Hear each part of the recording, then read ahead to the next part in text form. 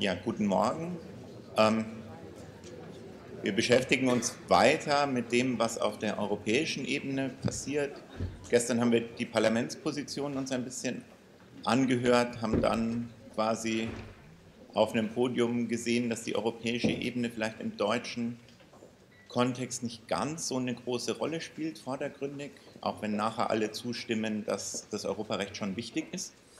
Ähm, wir haben uns von der Tagungsleitung natürlich entschieden, dem den entsprechenden Raum zu geben, weil es eben mehr als nur wichtig ist. Das ist der Teil, der ähm, unser Arbeitsgebiet bestimmt. Und wir sind sehr froh, dass es uns gelungen ist, von der Kommission und vom Europäischen Gerichtshof ähm, Personen zu bekommen, die darüber sehr kompetent berichten können. Einerseits ähm, ganz zu ihrer Linken Florian Geier, den viele hier natürlich kennen, weil er seit Jahren zu den Hohenheimer Tagen kommt, der in der DG Home gerade Referatsleiter geworden ist und seine Aufgabe ist, die neue Kommissarin zu briefen über die ähm, Verhandlungspositionen der einzelnen Mitgliedstaaten. Und wer könnte deswegen da besser berichten über ähm, die Zukunft des GEAS und Ende der Spaltung, um welchen Preis, weil da geht es genau darum, wo sind die ganzen Positionen, wo sind Verhandlungspositionen.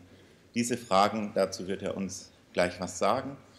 Und zwischen uns Alexandra Rüth ähm, vom Europäischen Gerichtshof, die dort seit 13 Jahren arbeitet, viele der Urteile geschrieben haben, mit denen wir uns beschäftigen und ähm, sich relativ kurzfristig bereit erklärt hat, hier einzuspringen. Wir sind sehr dankbar, dass Sie da sind.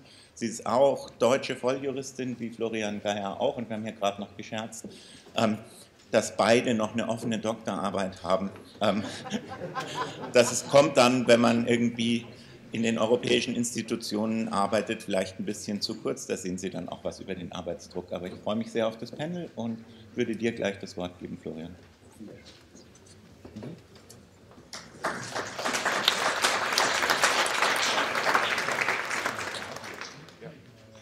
Guten Morgen. Ähm, ich freue mich wieder hier sein zu dürfen. Es ist immer das Highlight des Jahres. Das besprechen wir ja jedes Jahr, dass das das Highlight des Jahres ist. Ist aber in der Tat so.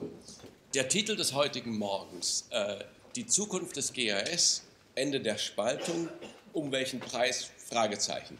Äh, das ist das, was im Programm steht und über das wir heute Morgen reden sollen. Das ist natürlich eine hervorragende Frage. Äh, und eine Frage, und das muss ich schon gleich hier am Anfang zu äh, vorwegnehmen, über die man im Moment noch am Vorverhandeln ist. Also die Frage des Preises. Ich werde hier nicht sehr viel dazu sagen können, was jetzt tatsächlich der Preis sein wird, weil eben alles noch in den, in den Anfängen oder gerade, wenn Sie wollen, in der, in der Höchstphase dessen ist, was an ähm, Dingen sind, die noch nicht sozusagen öffentlich sagbar sind. Ähm, aber natürlich, man kann immer wieder schauen, was, was kann man denn schon sehen, was, worauf kann man schon eingehen. Wir haben Tineke Strick äh, gestern Abend gehört, da haben wir die Position des Parlaments gehört. Ähm, und da können wir anknüpfen. Es gibt doch viele Dinge, über die man schon reden kann, jetzt hier und auch Dinge, die man dann vielleicht auch im Podium später zum GRS äh, weiter vertiefen kann. Aber vielleicht, wenn wir uns nochmal den Titel anschauen und fragen, dieses Fragezeichen am Ende, um welchen Preis, das setzt ja im Grunde schon viel voraus. Und vielleicht war bei der Titelfindung hätte man dieses Fragezeichen auch ein bisschen an anderen Stellen setzen können. Zum Beispiel ähm, Zukunft des GAS, Ende der Spaltung, Fragezeichen. Oder sogar schon früher, Zukunft des GAS? Fragezeichen. Das sind, wenn wir da gestern Tineke gehört haben, könnte man überlegen, sind wir denn? Das war ja relativ pessimistisch. Du hast ja gesagt, äh, es ist äh, naiv zu glauben oder idealistisch zu glauben, dass wir überhaupt sehr, weiter, äh, sehr weit werden kommen können. Von daher, es sind im Grunde drei Fragezeichen in diesem einen kurzen Satz drin. Und äh, da will ich anknüpfen. Aber bevor wir anknüpfen, äh, sozusagen gleich in die Tiefen reingehen, nochmal einen Blick zurück auf das letzte Jahr, seitdem wir uns hier äh, in Hohenheim zusammengerottet haben, was ist passiert, äh, in den ganz groben äh, Zügen. Natürlich sind wir, das braucht man nicht verheimlichen, in den Verhandlungen in der Tat nicht viel weitergekommen, als es noch eben das Asylpaket gewesen ist und wir darüber diskutiert haben. Wir haben ja die fünf Vorschläge, die fast schon fertig sind und es fehlen nur noch die zwei und lass uns doch mit den fünf vorangehen und dann sind das die sieben und dann kommt noch die Rückführungsrichtlinie dazu und sind das dann acht und was ist denn jetzt das Paket und packen wir das Paket aus und packen wir das Paket ein. Also das war ja die Diskussion, äh, über die wir letztes Jahr auch in den Räten, in Brüssel, im Parlament äh, noch äh, geredet haben. In diesem Bereich sind wir nicht viel weiter gekommen als das, was, was wir schon wussten. Wo man weitergekommen ist, wo sich die Mitgliedstaaten und das Parlament einigen konnten, auch in den letzten sozusagen Metern noch, bevor es dann in die Europawahl gegangen ist, das war zum einen auf die Revision des Visa-Kodex. Das ist ja auch wichtig hier für die praktische Tätigkeit. Der tritt jetzt Anfang Februar tritt diese Revision in Kraft.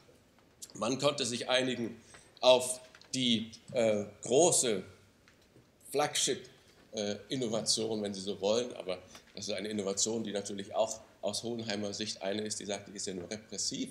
Das weiß man auch. Deswegen konnte man sich, konnten sich die Mitgliedstaaten ja auch darauf einigen, die Frontex 3 sozusagen, also den Aufbau der Europäischen Grenzschutzagentur, im Jahr bis zum Jahr 2027 auf 10.000 äh, Grenzschützer, die einsetzbar sein sollen äh, und die auch mit, neuen, ähm, mit einem neuen, neuen Mandat ausgestattet werden.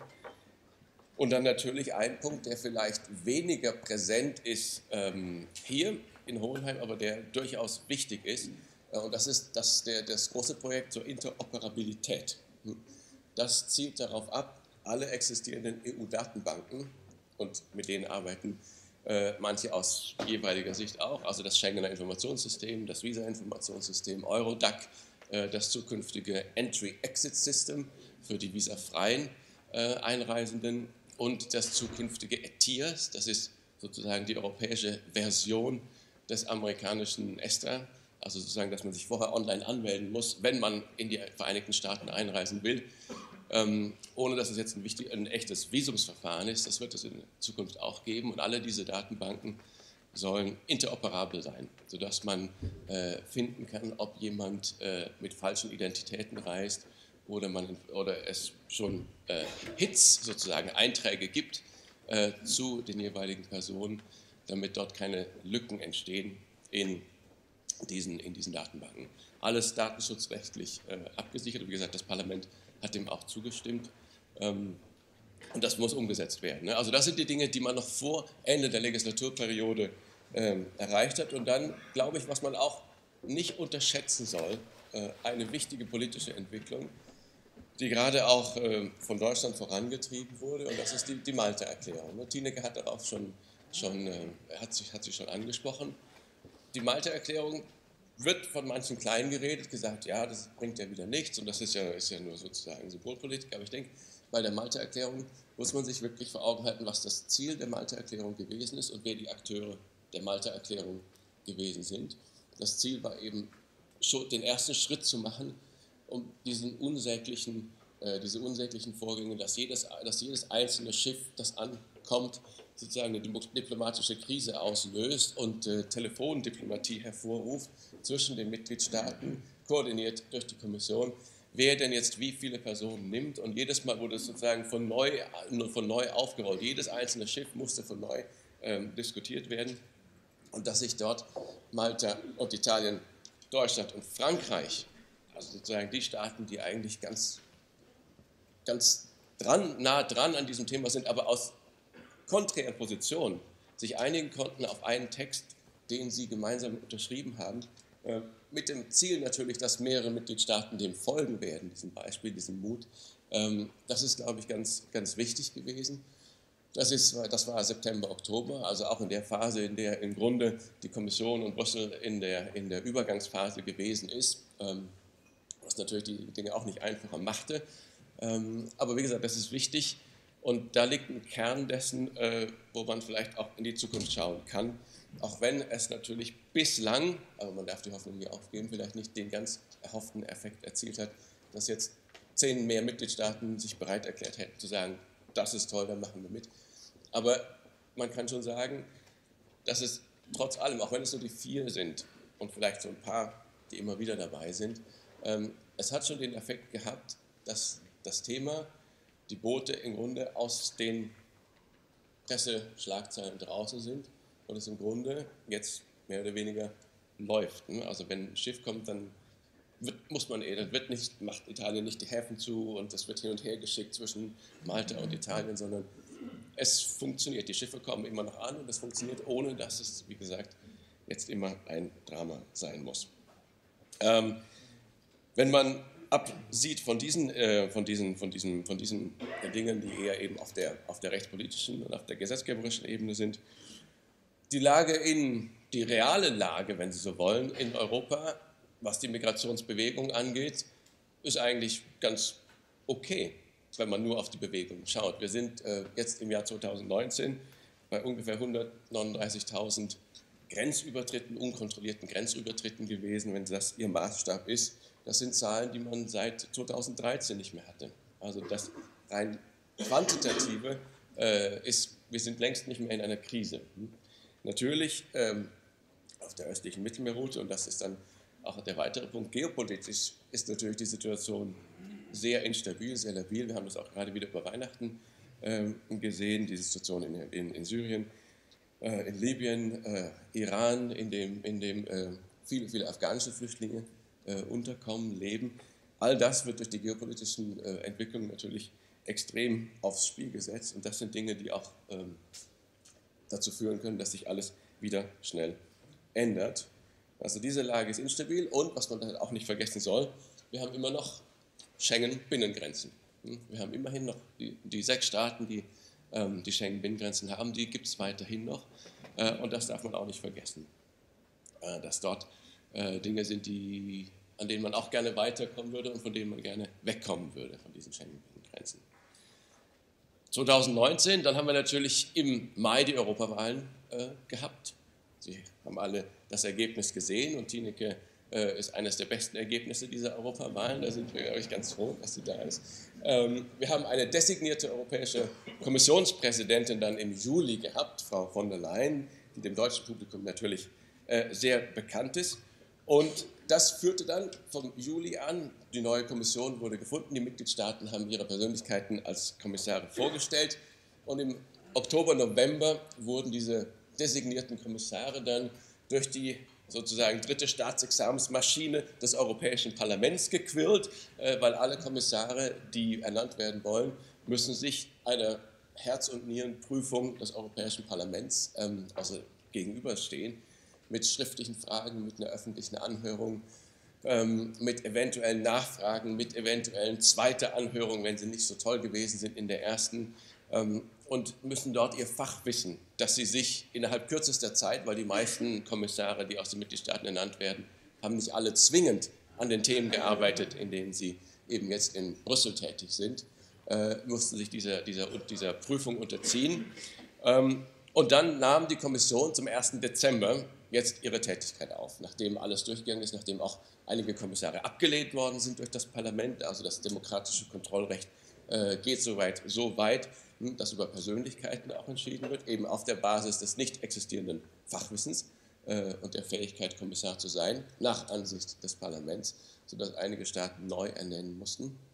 Ähm, und deswegen verzögerte sich alles etwas, aber seit dem 1. Dezember ist die neue Kommission jetzt in voller von Kraft. Sie haben auch äh, Anfang Januar ihren Amtseid vor dem Gerichtshof äh, abgelegt, dass wir auch den Bogen schlagen können zum Gerichtshof. Äh, da schwören Sie, das ist so eine, Praxis, die sich eingebürgert hat, dass jeder Kommissar ähm, schwört quasi auf die, auf die Verträge, sagt, dass er, dass er in, seiner, in der Ausübung seiner Tätigkeit äh, die Verträge, das Primärrecht ähm, respektieren, fördern, unterstützen wird, einschließlich der Grundrechtecharta. Das ist, glaube ich, auch immer ganz wichtig, dass sozusagen jeder Kommissar auf die Grundrechtecharta schwört. Das ist, glaube ich, in Hohenheim eine ganz äh, schöne Geschichte und das sind auch Dinge, die man immer wieder äh, äh, vorhalten und, und, nutzen kann ähm, in, den, in den Findungen dessen, was die, die Kommission als Kolleg macht. So, und diese neue Kommission unter Ursula von der Leyen ist in diesen acht Wochen, in der sie jetzt im Amt ist, nicht so lange und Weihnachten lag ja auch dazwischen, schon relativ aktiv gewesen und ist auch weiterhin aktiv, vor allem in den Bereichen, das haben Sie wahrscheinlich gesehen, Klimaschutz, Green Deal, äh, diese ganzen, den, den Bereich, wo sie auch wirklich in die deutschen Schlagzeilen kommt. Und das schön zu sehen ist, wie diese Dinge, die sie in ihrer Rede im Juli vor dem Parlament, also dass sie die auch wirklich sehr schnell angegangen ist und dort ihr Profil äh, schärft und ich denke auch ähm, den, die, die, die globale Phase, in der wir sind, auch relativ gut aufgreift. Klimaschutz ist natürlich nicht jetzt das, was die Hohenheimer zwingend interessiert, obwohl, wenn Sie den Green Deal lesen, da ist natürlich auch, und das Zukunftsthema wird sein, Klimaflüchtlinge. Und äh, dort, das ist auch gesehen, ne, das haben wir reingeschrieben in die, in, in die Mitteilung zum Green Deal, dass das Dimensionen sind, die auch uns betreffen werden und die auch immer stärker äh, kommen, dass es eben irgendwann zu lösen sein wird, was man mit Klimaflüchtlingen macht und was wie die rechtliche Lage dazu sein wird. Da ist noch einiges ungeklärt und das ist eines der Zukunftsthemen. Wenn wir jetzt aber schauen, Zukunft des äh, gemeinsamen europäischen Asylsystems, was hat unsere Präsidentin denn dazu gesagt? Was sind ihre Pläne dazu? Das ist ja das, über das wir reden wollen. Ähm, und da kann man, und jetzt fangen wir an, so ein bisschen in die, in die Tiefen reinzugehen, in der Transparenz der Kommission muss die, Kommissar, die designierte Präsidentin ihr politisches Programm vorlegen, mit dem sie dann eben auch äh, bestätigt oder abgelehnt wird im Europäischen Parlament. Das hat Frau von der Leyen im Juli 2019 gemacht. Das ist im Internet, die politischen Leitlinien. Und zu unserem Thema, da hat sie gesagt, dass sie einen neuen Migrations- und Asylpakt vorschlagen will. Äh, und, in diesem Pakt soll die Dublin-Reform, und jetzt zitiere ich das in der deutschen Version, neu aufgerollt werden. Sie soll neu aufgerollt werden. Sie will eine Modernisierung des gemeinsamen europäischen Asylsystems und in den politischen Leitlinien, da muss ich so ein bisschen Tini widersprechen, da steht ausdrücklich drin, es heißt gemeinsam und, und, Frau von der Leyen sagt, es muss gemeinsam sein. Also wir geben nicht das Gemeinsame auf, sondern es, es, sie bestätigt das, es muss gemeinsam sein und alle müssen einander helfen und einen Beitrag leisten. Wir brauchen einen Neustart, schreibt sie, und eine neue Verteilung der, und jetzt kommt das Wort, das natürlich vielleicht nicht das Beste ist, eine neue Verteilung der Belastung. Das ist das, wie es übersetzt wurde.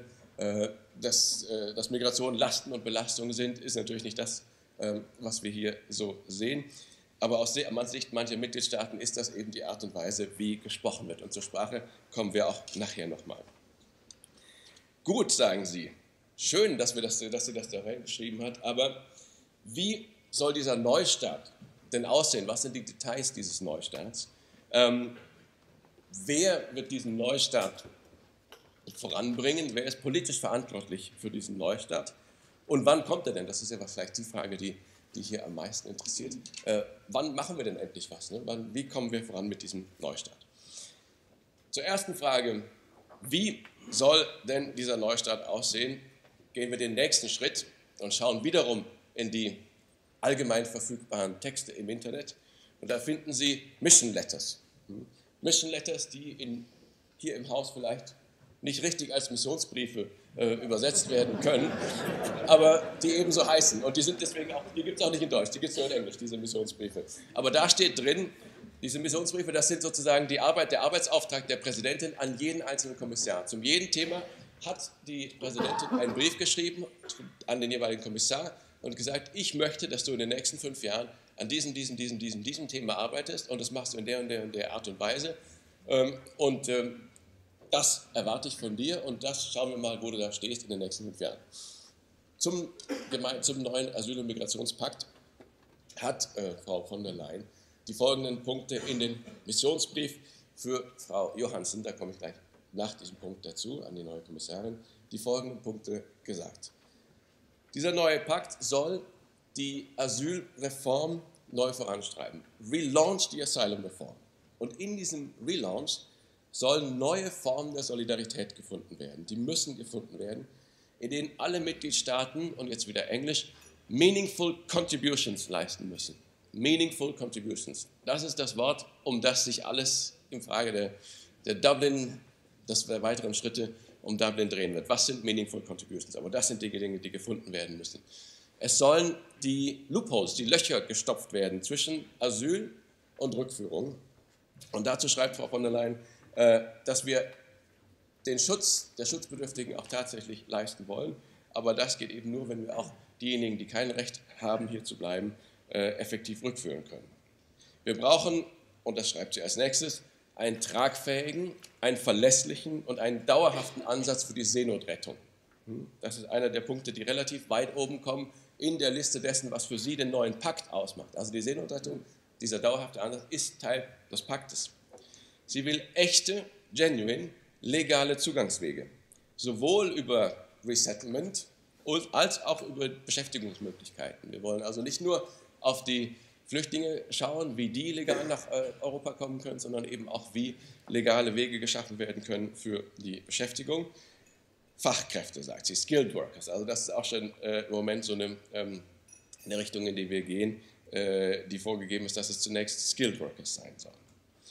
Eine stärkere Kooperation mit Herkunfts- und Transitländern und da im Zusammenhang ein, robusten, ein robustes System für die Rückführung. Also das hatte auch Tineke angesprochen, auch kritisch angesprochen, dass sozusagen die Kooperation mit Herkunfts- und Transitländern sozusagen fokussiert sei auf die Rückführung. Aber ich denke, es geht weiter dann das. Es geht auch darum, ähm, um, den, um den, die Fluchtursachenbekämpfung und diese Dinge. Aber in, der, in den Diskussionen mit Drittstaaten, äh, da ist durchaus, da hat Tineke recht, der Ansatz da, dass Europa etwas selbstbewusster auftreten soll, wenn sie mit Drittstaaten verhandelt und sagt, Migration ist für uns ein wichtiges Thema. Wenn ihr unseren Zugang zu, für unsere Produkte auf den europäischen Markt äh, haben wollt, wenig äh, barrierefrei, dann das ist euer Interesse, unser Interesse ist Migration. Wo können wir da was finden, indem wir ähm, uns einigen können, dass die jeweiligen Interessen gewahrt sind? Also das soll durchaus robuster werden, das hat Tineke völlig richtig gesagt. Es sollen humanitäre Korridore geschaffen werden, Humanitarian Corridors, um Flüchtlingen zu helfen ähm, und auch um menschenwürdige Bedingungen zu schaffen. Das ist so der Blick auf Libyen und die, und die Situation, die wir da haben. Wie können wir es schaffen, Humanitarian Corridors zu errichten oder zu intensivieren, um die Situation in Libyen zu bekämpfen? Äh, verstärkte Maßnahmen gegen Menschenhändler und Schmuggler, das ist natürlich auch sehr wichtig, und die Implementierung der, der, der, der, der, der Frontex, der Grenzschutzagentur, will sie vorziehen. Die 10.000 sollen nicht erst 2027 einsatzfähig sein, die 10.000 Grenzschützer, sondern schon 2024. Ähm, dieses Vorziehen und dann ganz zum Schluss die Rückkehr zum voll, voll funktionsfähigen Schengen-Raum. Das ist, wie gesagt, eines der Themen, das natürlich bei all den Diskussionen mitschwingt und das man auch nicht vergessen darf. Das heißt, das Ende der, der Binnengrenzen. Sie sehen also, dass der neue Pakt weit über das GRS hinausgeht. Das GRS ist ein Teil dessen, was den neuen Pakt ausmachen soll. Und ähm, es muss in diesem ganzen Zusammenhang gesehen werden. Was auch wichtig ist, neu sozusagen dieses Relaunch, das die Kommissar, das die Präsidentin will, diese Neuverhandlung, heißt nicht, dass alles, was jetzt schon da ist, zwingend weggeschmissen werden muss. Und ich denke, das ist auch wichtig für das Parlament, ähm, dass die Arbeit, die geleistet wurde in den Bereichen, die durchaus reinpassen und weiterhin und nah an der, an der ähm, nah da sind, äh, erreicht zu werden, dass man nicht alles wieder auf Null setzt, sondern man muss schauen, wo sind die Dinge, wo muss, wo muss man ändern, wo muss man die Stellschrauben drehen. Ähm, mehr natürlich als im vorherigen Blick, wo man eben innerhalb der sieben, innerhalb des, äh, des Pakets gedacht hat. Wenn wir jetzt in dieser weiteren Richtung denken, wo kann man die Schrauben an den anderen Vorschlägen stellen, um sozusagen das GS als Teil des Ganzen äh, voranzubringen. Jetzt die Frage, wer macht das denn alles? Und da auch kurz der, der, der Hinweis, den ich meinte, we spoke with Johansson. Uh, so I will tell you, who is Johansson? Because maybe, vielleicht wissen Sie denn nicht, wer, wer Frau Johansson ist. Also wir haben eine neue Kommissarin. Das ist ja auch wichtig zu schauen, an wen man rantreten will, wenn man sozusagen Einfluss nehmen will. Wir haben eine neue Migration, also Home, eine Innenkommissarin, Sie kommt aus Schweden. Ilva Johansson ist eine äh, erfahrene Politikerin, die schon in fünf schwedischen Regierungen war, eine Sozialdemokratin, der nachgesagt wird, eher aus dem linken Rand der Sozialdemokratie zu kommen. Wobei, das müssen Sie alles europäisch sehen, der linke Rand der schwedischen Sozialdemokratie ist vielleicht, keine Ahnung, der rechte Rand der italienischen Konservativen. Keine Ahnung. Also wie gesagt, das muss man alles, das muss man alles so ein bisschen, man, die Parameter, die man sozusagen jetzt, wenn man sagt, ah, okay, linke Rand äh, SPD, das muss nicht zwingend das sein, was, was, was linke Rand der schwedischen Sozialdemokraten ist. Ähm, sie war aber Beschäftigungs- und Sozialministerin. Das heißt, das ist vielleicht für unseren Bereich gar nicht äh, schlecht, äh, eine Perspektive zu haben, die aus diesem Bereich Soziales und Beschäftigung kommt. Sie war, und das sagt sie auch immer, in der Flüchtlingskrise, die ja auch äh, in Schweden durchaus wichtig war, zuständig oder mitzuständig für die Fragen, die damals gelaufen sind in Schweden, auch in der Bewältigung der, der Flüchtlingskrise damals. Das heißt, sie hat den Blick und sie hat äh, die richtige Perspektive. Sie hat einen Vizepräsidenten, der sozusagen mit ihr Dinge erreichen soll, hierarchisch über ihr steht. Und dieser Vizepräsident ist Margaritis Chinas, das ist ein Grieche äh, ein, und da ein Konservativer. Ne? Also die Kombination, die Frau von der Leyen gewählt hat, ist ein griechischer Konservativer und eine schwedische Sozialdemokratin, die für Migration und Sicherheit zuständig sind. Und das ist eigentlich eine schöne Kombination, um sozusagen die Weite der politischen Spektren einzubinden und die Themen, äh, die Weite der Themen auch zu sehen. Skinas war selber Europaabgeordneter, äh, hat viele andere Dinge gemacht, ist schon sehr lange in, in, in Brüssel ähm, und hat auch, und das ist auch wiederum wichtig, sein Portfolio geht auch weiter. In seinem Portfolio sind auch, ist auch Bildung, äh, Skills, Employment, äh, Dinge wie Kultur mit drin. Und das ist natürlich wichtig für Integrationsfragen. Also in seinem Missionsbrief steht drin, dass er sich auch um die Integration kümmern soll. Und wie gesagt, diese Verbindung ist gar nicht schlecht, diese Kombination der Portfolios äh, der beiden Persönlichkeiten. Sie wurden auf Herz und Nieren geprüft, diese beiden im Parlament. Und dort hat das Parlament natürlich seine Position klargemacht. Das hat Tineke auch noch mal äh, gestern erklärt.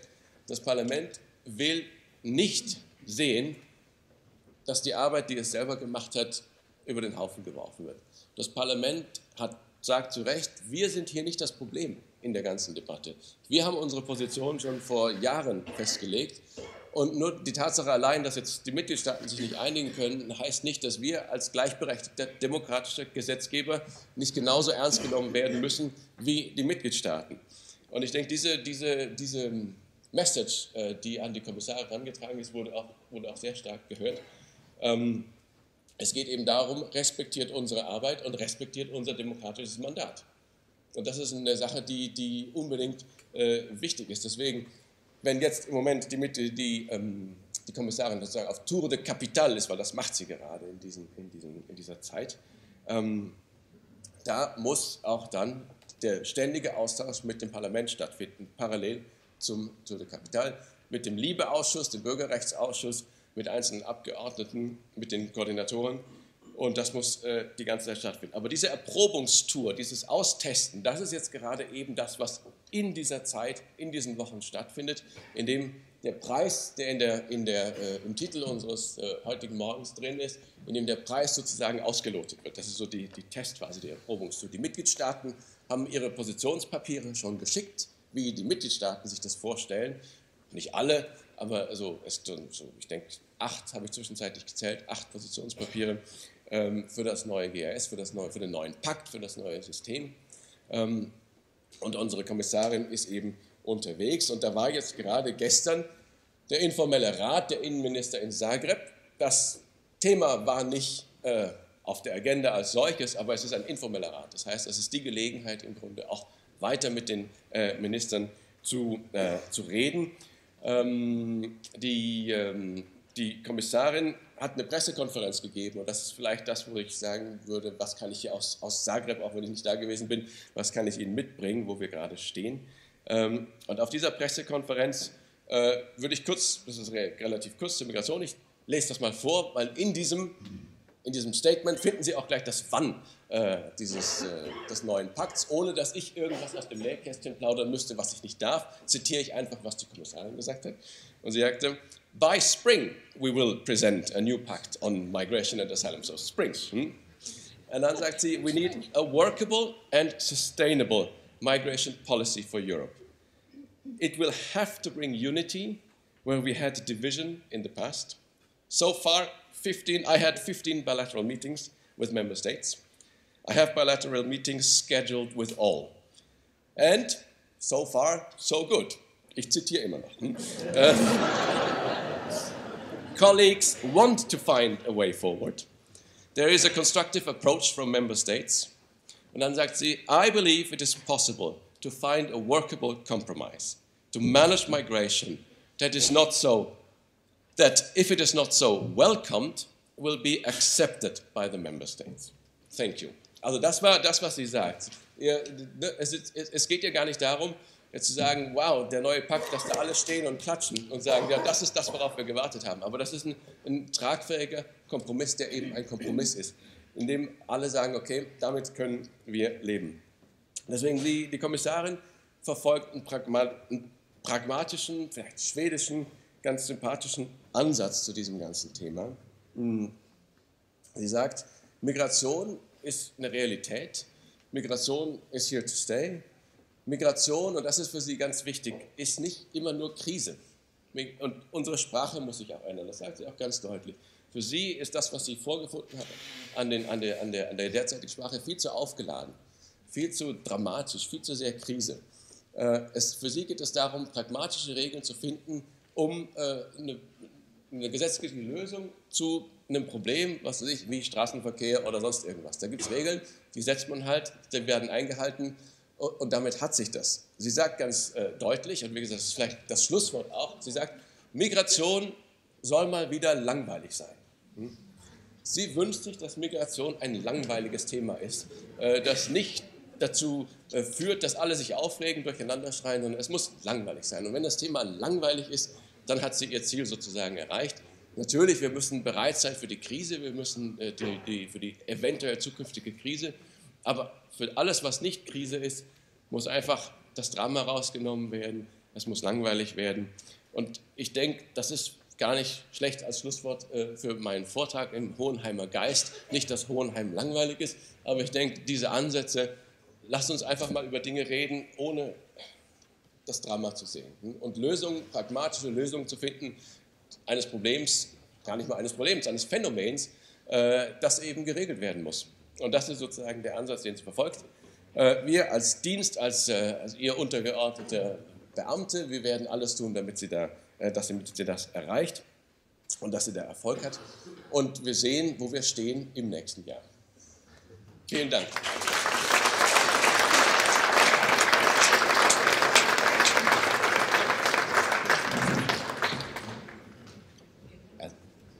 Ja, vielen Dank, ähm, Florian, für die gute Bewältigung der undankbaren Aufgabe, bei noch unklaren Verhältnissen doch deutlich zu sagen, wo die Spielräume sind oder es zumindest so deutlich anzudeuten, dass wenn man ähm, sich ein bisschen damit beschäftigt, schon man auch da noch einiges rausziehen konnte. Ist ja nicht ganz so einfach. Ähm, deswegen beschäftigen wir uns jetzt mit was, was auch nicht einfach ist für viele Juristinnen und Juristen aus Deutschland, die dann immer das Gefühl haben, der EuGH spricht ja über deutsches Recht, Recht und ähm, dabei übersehen, dass es halt nicht das deutsche Rechtssystem ist, um, sondern der EuGH, der für sehr viel mehr Mitgliedstaaten zuständig ist. Und deswegen freuen wir uns sehr, Frau Rüth, dass Sie uns präsentieren werden, was aus Ihrer Sicht wichtig ist an der Rechtsprechung des EuGH zu diesem Thema. Und wir schließen Ihren Vortrag gleich an. Vielen Dank. Das versuchen.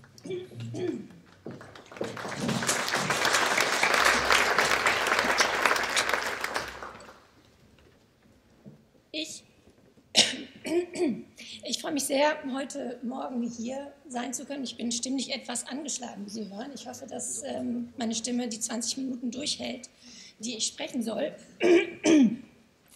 Und zwar ähm, freue ich mich deswegen nicht nur, weil es natürlich eine große Ehre ist, vor einem solchen Fachpublikum zu einem Thema reden zu dürfen, das mir sehr am Herzen liegt, ähm, sondern vor allem auch, weil es mir die Gelegenheit gibt, Ihnen zuzuhören.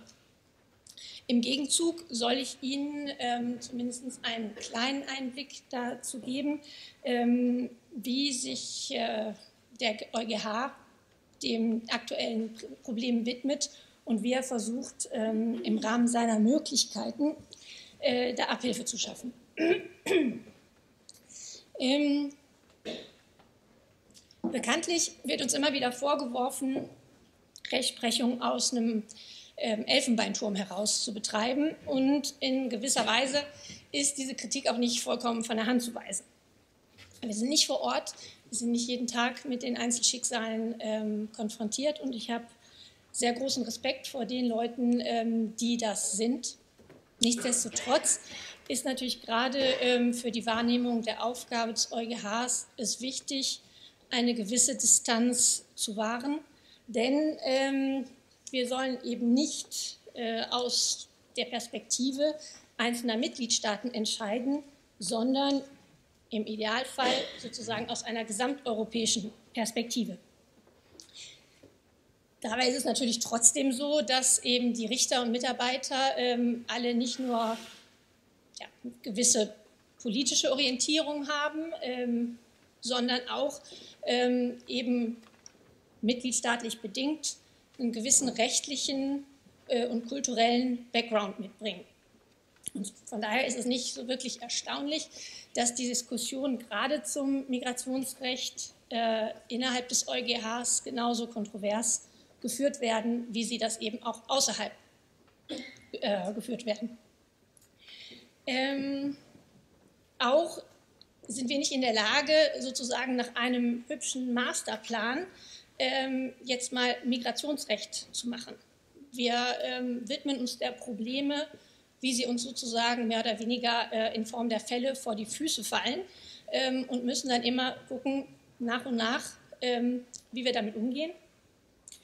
Ähm, von daher ist der EuGH jetzt der falsche Ansprechpartner, wenn man ähm, nach einem großen Gesamtkonzept für die Zukunft der europäischen Migrationspolitik sucht. Also von daher kann ich nur bedingt zu dem Thema, zu dem ich eigentlich her sprechen soll, ähm, auch was Sinniges sagen.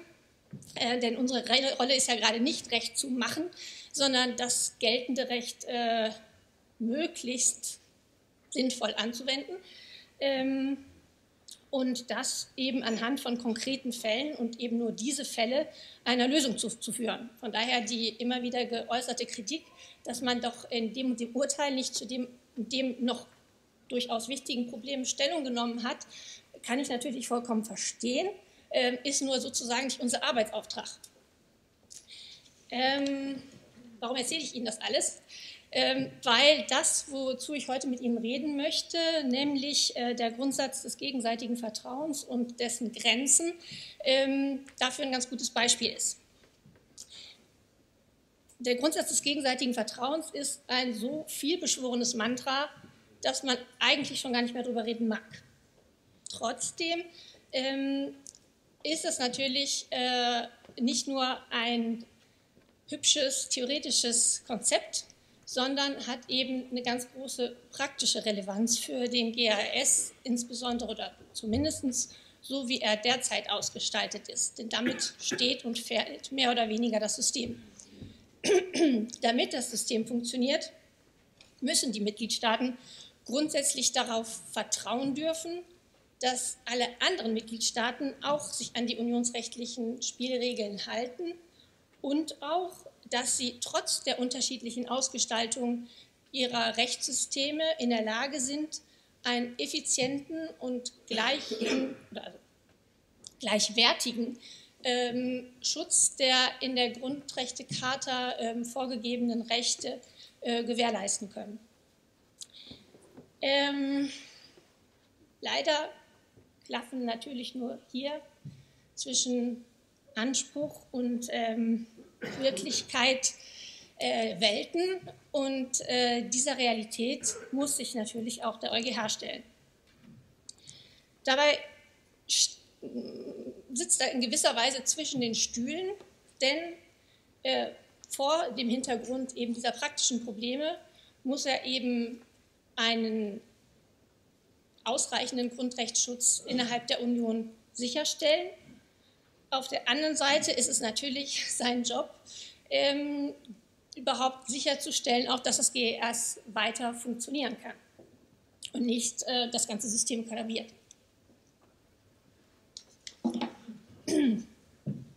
Ähm, dementsprechend hat er 2011 in ähm, dem Grundsatzurteil NS nach einem dezenten Hinweis aus Straßburg ähm, anerkannt, dass es durchaus in der Praxis große Probleme geben kann mit diesem System und dass diese Probleme in einzelnen Mitgliedstaaten dazu führen können, dass ähm, nicht gewährleistet ist, dass die Grundrechte gewahrt werden und insbesondere eben das Recht ähm, darauf, äh, menschenwürdig behandelt zu werden und äh, keine äh, unmenschliche Behandlung im Sinne von Artikel 4 der Charta zu erfahren.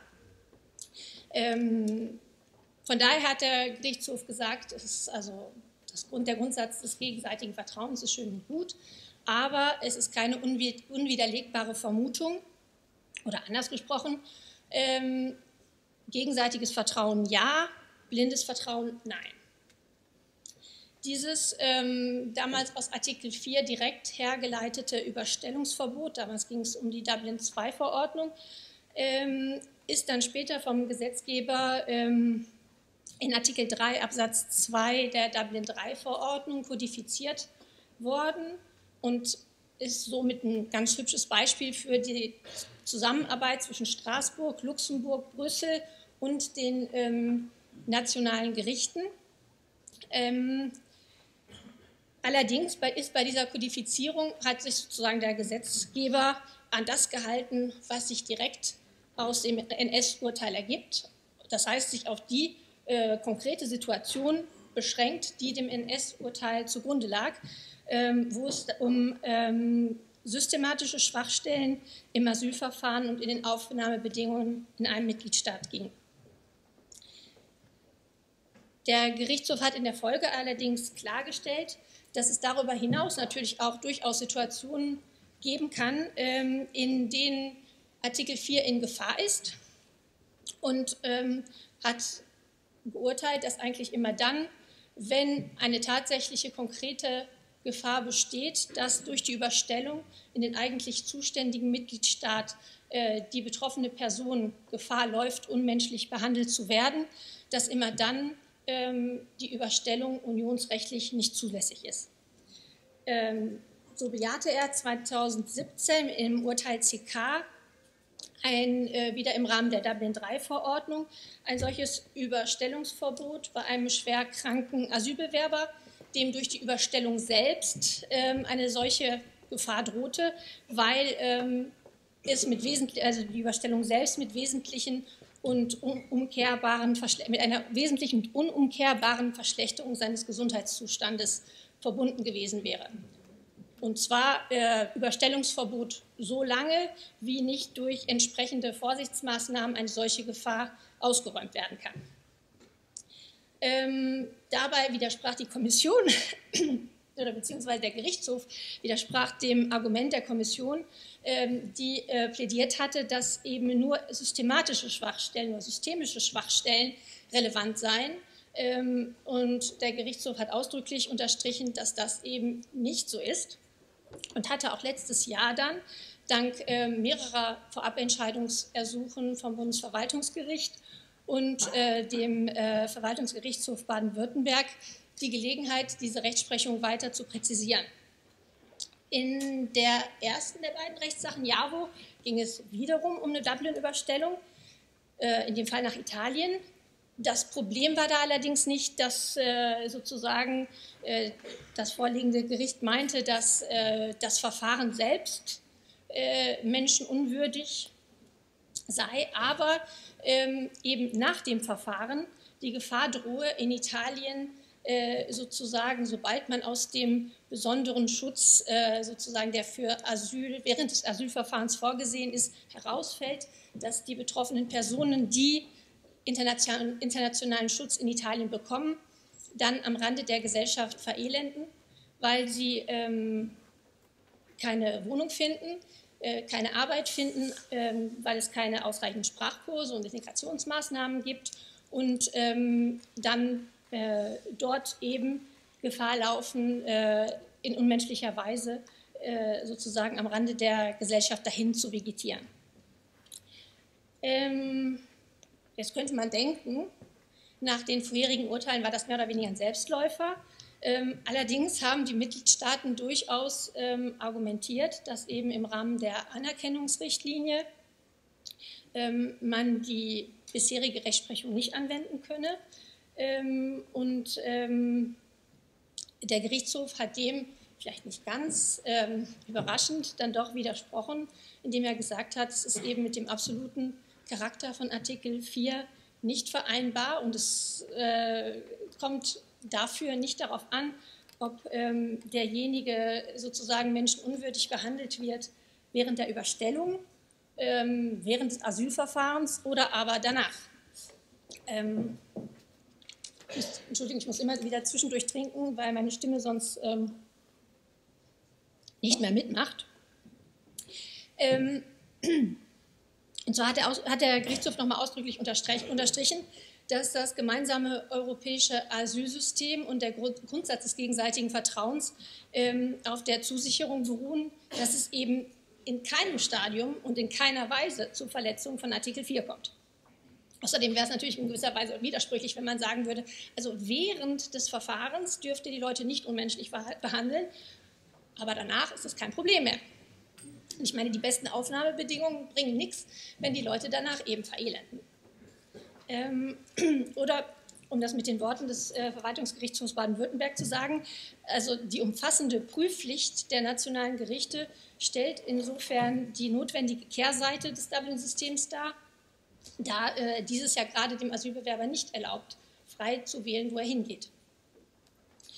Danach muss also das mit dem Rechtsbehelf befasste nationale Gericht bei konkreten Hinweisen, nicht eben einfach mal so, sondern bei konkreten äh, äh, Hinweisen auf der Grundlage, ich zitiere, objektiver, zulässiger, äh, zuverlässiger, genauer und gebührend aktualisierter Angaben und im Hinblick auf den unionsrechtlichen Grundrechtestandard äh, würdigen, ob entweder systemische oder aber allgemeine oder aber bestimmte Personengruppen betreffende Schwachstellen in dem Mitgliedstaat bestehen, die eben es wahrscheinlich erscheinen lassen, dass die Person dort Gefahr läuft, unmenschlich behandelt zu werden.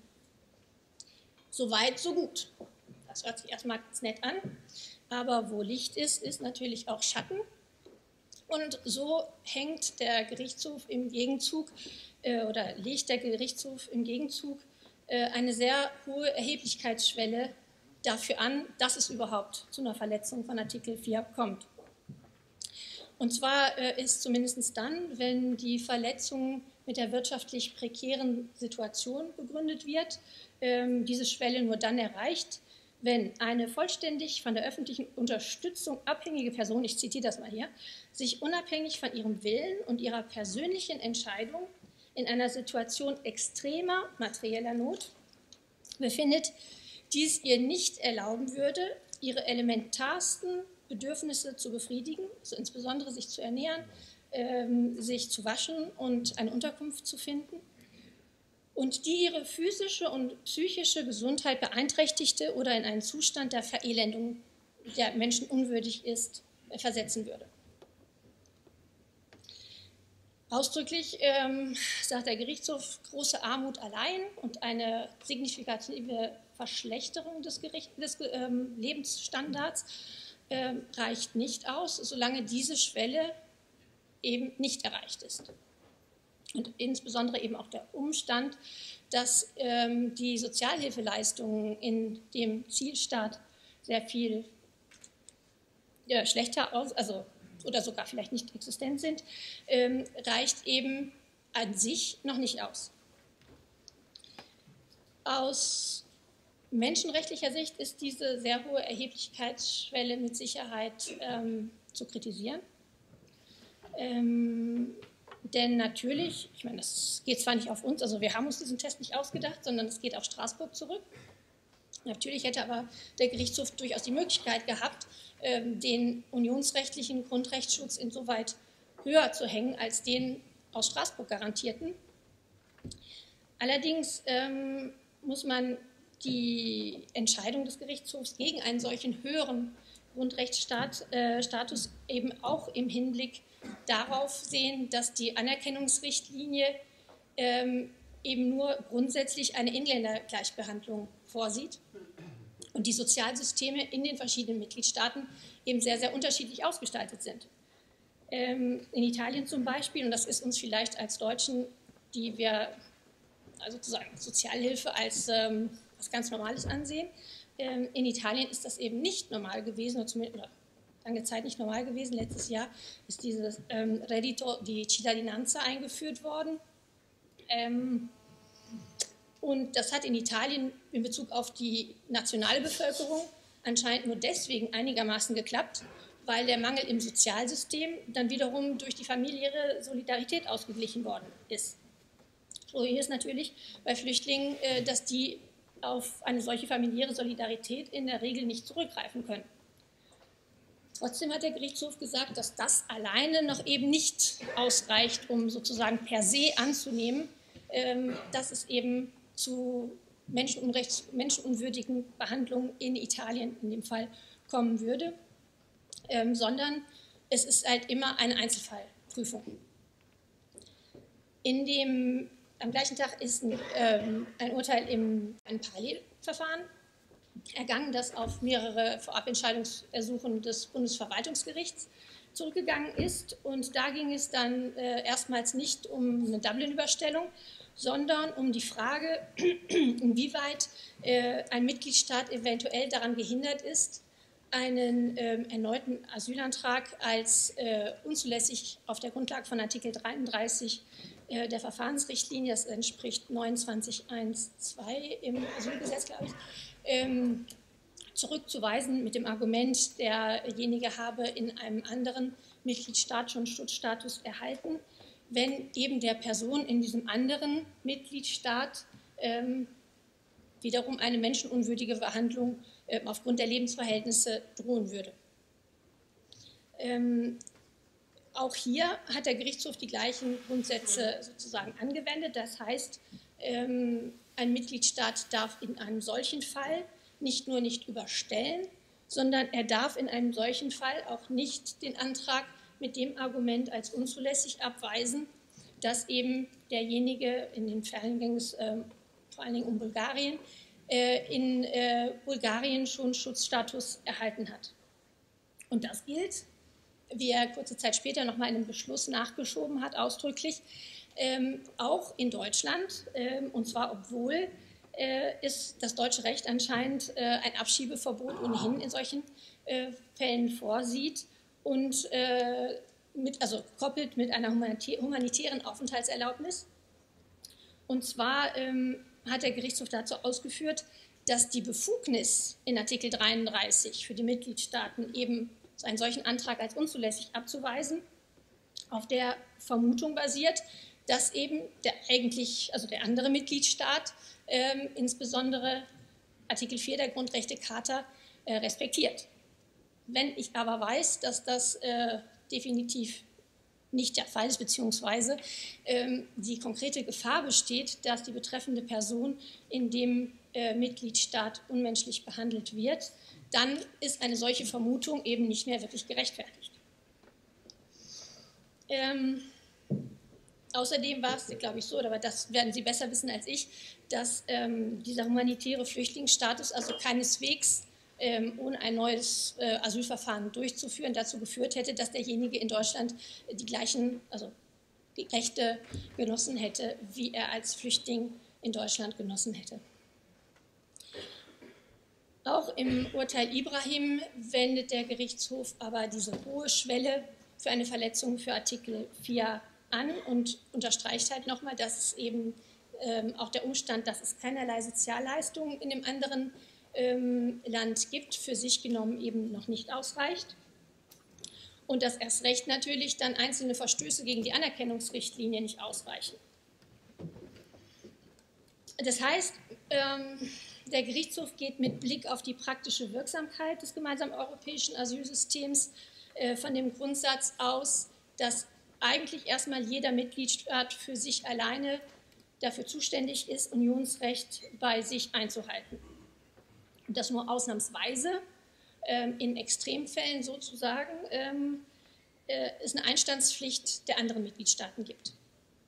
Das zeigt sich im Urteil Ibrahim auch noch an einer anderen Stelle. Und zwar verneint der ähm, Gerichtshof die Erheblichkeit, also im Fall ging es auch ähm, noch darum, dass ähm, in Bulgarien wohl ähm, äh, systematisch den Menschen, auch dann, wenn sie ähm, eigentlich die Flüchtlingsvoraussetzungen ähm, erfüllen, äh, ein Flüchtlingsstatus nicht eingeräumt wird, sondern in vorhersehbarer Weise ähm, äh, maximal subsidiärer Schutz gewährt wird. Und der Gerichtshof hat gesagt, das ist eindeutig eine Verletzung ähm, der, des Sekundärrechts, nicht nur des Sekundärrechts, sondern eben auch von Artikel 18 der Charta. Aber ähm, das reicht nicht aus, damit eben sozusagen man den Antrag als unzulässig abweisen darf. Das heißt, in solchen Fällen darf der andere Mitgliedstaat ähm, durchaus den Antrag zurückweisen als unzulässig. Und ähm, Es steht so ein hübscher Nebensatz da drin, dass dann ähm, der ursprünglich, also in dem Fall Bulgarien, das Verfahren wieder aufzunehmen hat. Das hat zu, für, das hat zu viel Kritik geführt. Ähm, so nach dem Motto, ähm, wir meinen, was nicht ist, äh, was nicht darf, was nicht sein darf, äh, ist dann auch nicht. So ist das aber nicht gemeint. Ähm, und ich glaube, also es ist mehr oder weniger ein Warnschuss an den ähm, ein kleines Orbiter, wenn Sie wollen, an den betreffenden Mitgliedstaat und dessen Gerichte, dass egal, ob das nationale, Gerecht, äh, nationale Recht jetzt so eine Wiederaufnahme vorsieht oder nicht, ähm, ihr müsst wieder aufnehmen. Also es ist eindeutig, ein, erstens ist es eindeutig eine Verletzung von Artikel 18 und dem Sekundärrecht. Zweitens, ihr müsst wieder aufnehmen. Und drittens, Kommission denkt vielleicht mal über ein Vertragsverletzungsverfahren nach.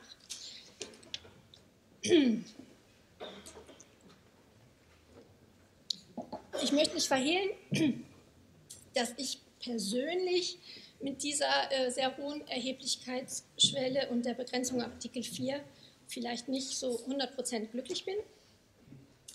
Ähm, überspitzt, überspitzt, gesagt kann man das schon ähm, so kritisieren, dass, ähm, ja, dass äh, es doch blindes Vertrauen gibt, soweit äh, der nicht Artikel 4 betroffen ist. Ähm, und es sozusagen der Gegensatz des äh, gegenseitigen oder der Grundsatz des gegenseitigen Vertrauens mehr eine Rechtsfiktion ist, denn halt wirklich äh, Vertrauen im eigentlichen Wortsinn. Auf der anderen Seite muss man natürlich schon auch die Beweggründe ähm, hinter dieser Rechtsprechung verstehen, vor allem der, im Rahmen der aktuellen Situation. Da ähm, kann man sich schon, schon fragen, ähm, wenn der Gerichtshof das anders entscheiden würde, äh, inwieweit würde die GRS dann überhaupt noch funktionieren?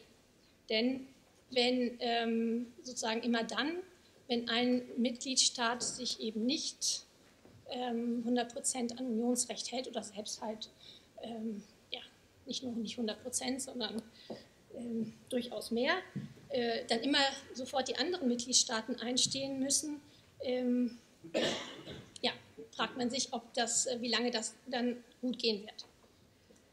Ähm, außerdem ist natürlich äh, ja, die gesellschaftliche Akzeptanz im Blick zu halten, denn gerade in den Mitgliedstaaten, in denen das Sozialsystem sehr unterentwickelt ist, ist es sehr schwer, den Leuten dann zu erklären, ähm, man eben sozusagen weit über das hinausgeht, was ihnen selber ähm, national gewährt wird, äh, ist das äh, sozusagen in der aktuellen Lage, insbesondere in einigen Mitgliedstaaten, ähm, würde, das ein, würde das wahrscheinlich äh, zu Problemen führen. Ähm, von daher kann man sagen, dass auf der Grundlage der derzeitigen, des derzeitigen Rechts, insbesondere der Anerkennungsrichtlinie, ähm, das Ziel Menschen, ja, also menschenwürdiger schon, aber vielleicht adäquater Lebensverhältnisse ähm, nicht in allen Mitgliedstaaten sichergestellt werden kann. Das, äh, die Rechtsprechung des Gerichtshofs ist insofern da ein menschenrechtliches äh, Sicherheitsventil, aber keine Lösung. Und von daher ist der europäische Gesetzgeber gefragt, aber das sieht ja im Moment nicht so aus, als könnten wir da in unmittelbarer Zukunft ähm, schon mit ähm, ja, Besserung rechnen. Ich weiß nicht, habe ich noch ein paar Minuten oder ist meine Zeit schon abgelaufen? Äh, gut, dann habe ich, ich habe noch ein paar Minuten, kann noch ganz kurz auf den anderen Aspekt eingehen, der in dem Zusammenhang vielleicht auch ganz interessant äh, ist. Denn um Herrn Ruschka zu ähm, zitieren, äh, diese Rechtsprechung zu Artikel 4 bleibt ein zahnloser Tiger, wenn denn die ähm, betreffenden Personen das nicht ausreichend geltend machen können und ähm, über entsprechende Rechtsschutzgarantien verfügen. In diesem Zusammenhang ist es vielleicht ganz interessant, auf ein aktuell anhängiges Verfahren äh, wiederum vom Bundesverwaltungsgericht äh, hinzuweisen, in dem es um die Frage geht, in den Fällen, wo, der, wo die betroffene Person äh, vor Ablehnung des Antrags als unzulässig nicht angehört worden ist, darf ähm, sozusagen in Anwendung von Artikel 46 Verwaltungsverfahrensgesetz dieser Verfahrensmangel als äh, unerheblich betrachtet werden wie Sie wissen, ähm, sieht das Unionsrecht, die Verfahrensrichtlinie, ausdrücklich ähm, eine Anhörungspflicht auch in diesen Fällen vor, mit einem abschließenden Ausnahmenkatalog. Und in einem parallel gelagerten Fall zur Dublin-Verordnung hat das Bundesverfassungsgericht ähm, ja, Bedenken ange, äh, meldet, ob es unionsrechtskonform ist, wenn man Artikel 46 in, den, äh, in solchen Situationen anwendet, da ähm, das zu einer Umgehung des Effet utile dieses Anhörungsgebots führen könnte. Das Bundesverwaltungsgericht äh, schließt sich äh, eher wohl der äh, Auffassung der Bundesregierung an, dass das ähm, unproblematisch sei, weil ähm, das ja eine gebundene Entscheidung ist im deutschen Recht. Ähm, eine, umfassende Amtsermittlungs, äh, eine umfassende Amtsermittlungspflicht besteht und ähm, die betroffene Person ja im gerichtlichen Verfahren Möglichkeit hätte vorzutragen. Ähm, der Kläger sieht das etwas anders ähm, und betrifft sich darauf, dass ja besondere Garantien vorgesehen sind für die Anhörung vor den Verwaltungsbehörden und ähm, die betroffene Person ja zum Teil auch gar nicht weiß, worauf sie sich jetzt genau berufen muss und innerhalb der sehr kurzen Klagefrist auch wohl de facto ähm, das sehr schwierig wird zum Teil. Die Schlussanträge sind für März zu erwarten und von daher werden wir mal sehen, was äh, der Gerichtshof dazu entscheidet. Allgemein, und das hat jetzt gar nichts mit dem äh, vorweg äh, ähm, zu tun, allgemein geht die Rechtsprechung ähm, zu einer systematischen Stärkung des effektiven Rechtsschutzes und Artikel 47 der Charta. Und zwar zum einen, äh, was die Rechte der Einzelnen betrifft, insbesondere sich im Rahmen eines solchen Verfahrens auf ähm, Verfahrensfehler, auf, die, auf den Ablauf der Fristen, zum Beispiel nach Dublin und so weiter, zu berufen. Zum anderen aber auch, indem er versucht, die Position der nationalen Gerichte mit diesem Verfahren äh, zu stärken und das insbesondere in den Ländern, in denen derzeit versucht wird, durch ähm, die Exekutive, ähm, die sozusagen,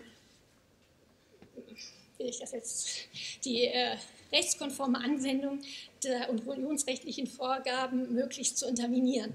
Ähm, wir hatten kürzlich einen Fall ähm, aus Ungarn, nicht ganz überraschend, äh, den Fall Torubarov, in dem es darum ging, ähm, Ungarn hat ähm, eine Justizreform durchgeführt, die dazu geführt hat, dass der Verwaltungsrichter, der ähm, nicht mehr die Möglichkeit hat, äh, die Vorgaben seines Urteils dann auch wirklich durchgesetzt zu sehen. Also ähm, selbst wenn er, vor, wenn er festgestellt hat, dass ähm, die betreffende Person äh, Flüchtlingsstatus erhalten muss, die, die Voraussetzungen erfüllt, ähm, hat er keinerlei Möglichkeiten mehr, wenn die Verwaltung, und die Verwaltung weigert sich, ähm, äh, das durchzusetzen, sodass es immer wieder zu einem Ping-Pong kommt. Also er entscheidet, die Verwaltung sagt wieder Nein und er entscheidet, entscheidet wieder und die Verwaltung sagt wieder Nein.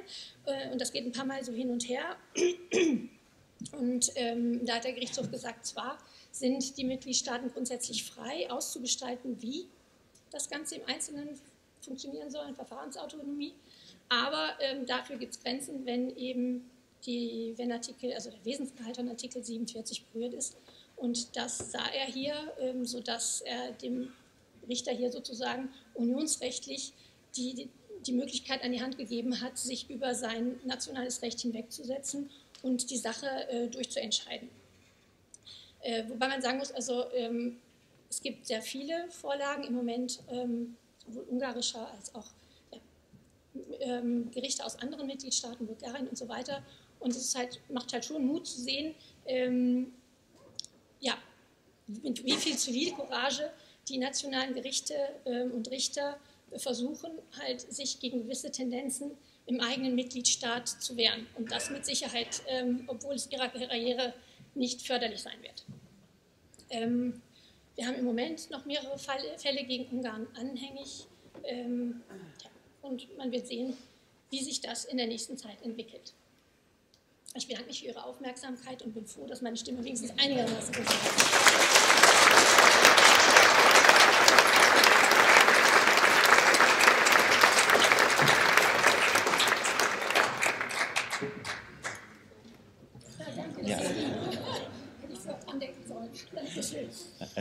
Vielen Dank, Frau Rüth. Und ich sehe schon die ersten Hände, die hochgehen. Da muss ich, glaube ich, gar nicht weiter überleiten. Dann fangen an Günther Burkhardt, Herr Berlet, Heiko Habbe. Nehmen wir mal drei und ich habe die anderen gesehen und dann schauen wir weiter. Also beim Fußball sagt man, die Wahrheit liegt auf dem Platz und das heißt, die Praxis zählt. Konkrete Fragen an Herrn Geier und Frau Rüth. Grenzverfahren in Hotspots. Wie will die Europäische Kommission Rechtsschutz sicherstellen? Ich denke an die konkrete Situation in Moria und den griechischen Inseln, so wie sie eine große Konzentration haben von Menschen, gibt es ein Problem. Frage an Sie, Sie sind ja nicht zuständig, weil es ist ja Teil des EU-Türkei-Deals, von daher können Sie ja ganz offen reden. Ja, weil es ist ja ausgehebelt worden. Äh, was würde Artikel 47 mal rein theoretisch, vorausgesetzt der Kollege würde was schreiben, bedeuten zum Thema effektiver Rechtsschutz? Zweite Frage, auch an Sie, Herrn Geier, wenn Sie sehr viel prüfen, was ja der Vorschlag des Innenministeriums ist, Herr Weinbrenner ist nachher auf dem Podium, auch die Fragen, die umstritten sind, Identität und, und so weiter. Wie will man dann ein zügiges Verfahren gewährleisten? Dritte Frage, irgendwann nach einer Verteilung, Sie haben es ja angesprochen, soziale Lage. Konkrete Frage mal brutal formuliert. In osteuropäischen Staaten können Sie keinen Flüchtling hinverteilen, der nicht europäisch dunkle Hautfarbe hat.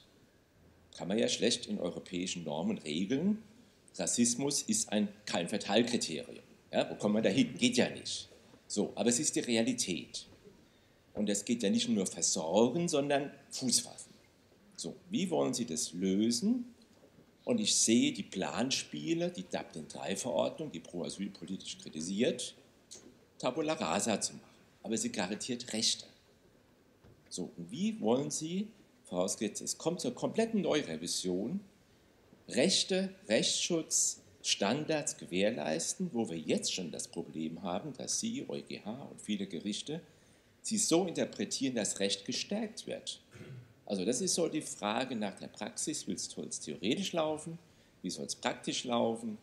Wie ist Rechtsschutz an der Grenze gewährleistet? Wie ist er nach einer Verteilung gewährleistet? Das war's. Und das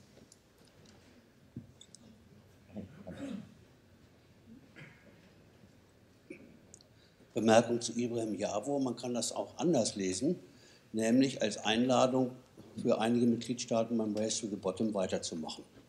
Und zwar konsequent. Äh, einschließlich der Rechtsfolgen äh, bei tatsächlichem Verstoß. Dass man Menschen nicht in eine menschenrechtswidrige Lage schicken kann, d'accord, dass das mit einem Zuständigkeitsübergang verbunden sein muss, äh, wäre zumindest einer kurzen Begründung wert und würdig gewesen, die nicht geleistet worden ist. Gut. Weitere, äh, äh sagen, die Konsequenz ist, äh, dass jetzt jeder Verwaltungsrichter, das ist vielleicht eine gute Konsequenz, aber vielleicht für die äh, EU keine schöne Konsequenz, äh, dass jetzt jeder Mitgliedstaat unter der Beobachtung der Gerichte steht, ob da menschenwürdige Zustände sind. Und wir haben ja gehört, wir haben in der Bundesrepublik Deutschland auch 680.000 Personen ohne Wohnung. Also es gibt kein System, was perfekt ist. Und dafür sind möglicherweise die JAVO-Ibrahim-Standards immer noch viel zu ungenau um genau im Einzelfall nie auszuschließende soziale Mängel, Personen, die durch das Netz fallen, waren ja auch ein Problem, sind ja, bilden ja auch ein Problem, das das Bundesverfassungsgericht bei seiner Sanktionenentscheidung SGB II hatten, irgendwie zu bewältigen. Sie koppeln individuelle Schicksale von einer menschenrechtlichen Perspektive mit Strukturentscheidungen. Für beides gibt es gute Gründe, nur beides gleichzeitig geht aus meiner Sicht nur sehr schwer. Nächste Bemerkung. Äh, Sie haben die Verstärkung des Rechtsschutzes in einem Satz mit äh, Verfahrensautonomie der Mitgliedstaaten genannt. Ich habe nichts gegen eine Stärkung von Verfahrensrechten. Ich meine nur, dass der EuGH statt möglicherweise detaillierte Einzelschritte vorzugeben, was die Mitgliedstaaten zu haben, sich zur Schonung der Verfahrensautonomie der Mitgliedstaaten auf Schutzziele was soll eigentlich gewährleistet werden damit? Welches, welche Rechtsgüter, welche Rechte des Einzelnen sollen eigentlich im Ergebnis geschützt werden? Dahinter steckt die Frage, dient Rechtsschutz materiellen Rechten oder der Verwirklichung von Verfahrensrecht. Welche Funktion hat Verfahrensrecht? Das hat auch Konsequenzen zur Frage, ob man durchentscheiden kann oder ob man dieses Ping-Pong-Spiel macht. Das deutsche System kennt das Durchentscheiden, weil es aus materielle System ansteht. Je stärker wir Verfahrensrechte verselbstständigen, müssen wir uns davon verabschieden.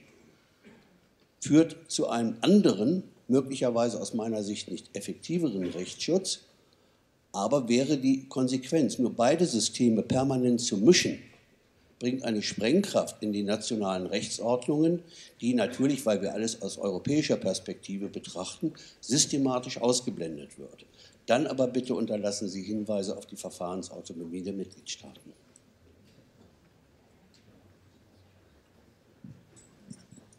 Ja, vielen Dank, Heiko Habbe, kirchliche Beratungsstelle Fluchtpunkt in Hamburg. Ich habe eine etwas melancholische Anmerkung zu Herrn Geier und zwei Anmerkungen zu Frau Rüth. Florian, ich habe mir den Mission Letter mal gezogen und aber die Suchfunktion drüber laufen lassen. Und ich finde in diesem Mission Letter die Worte Human Rights, Fundamental Rights nullmal, den Global Compact on Migration nullmal, das Wort Refugees einmal